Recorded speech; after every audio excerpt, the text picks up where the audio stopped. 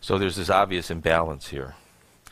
If you were going to try to describe it to a young person or to a visitor who got here five minutes ago to Earth and had no clue, how would you describe what the problem is here? They have entered the reality of the already dead who are just spending their lives waiting to die.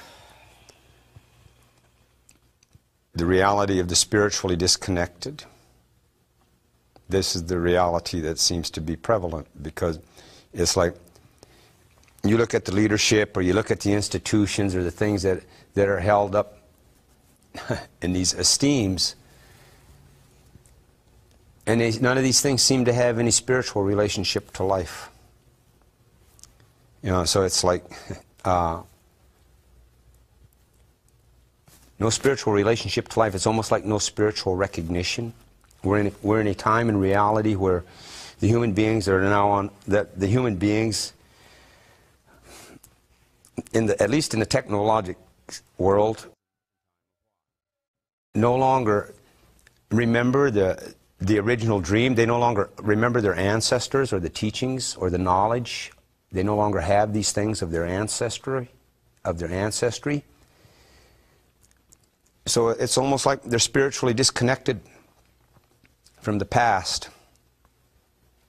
And when you look at the situations that, the conditions that we live in now, with the way that, you know, uh, the way that the cancers of greed and, and war, the way that these viruses, these diseases have spread, and everyone, and no one is really taking responsibility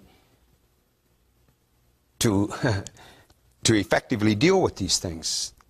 I mean, people are having emotional reactions and emotional outbursts and these types of things, but, but no one's taking clear and coherent action to deal with these, this, this disease of aggression that is taking place.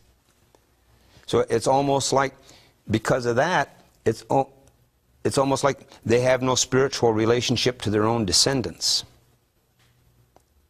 So it's like, you know, so no spiritual relationship to the past, the ancestry no spiritual relationship to the ancestry in the shape of the future. So whatever this disease of aggression and violence and greed and all, whatever this disease mentality is that lives in this life system now, it's eating up the spirit of, of the diseased. They, they, and they don't even know it's happening.